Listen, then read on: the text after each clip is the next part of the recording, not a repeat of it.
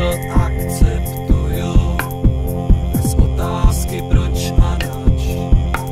A že postů zabrybluju Jako nakřáplý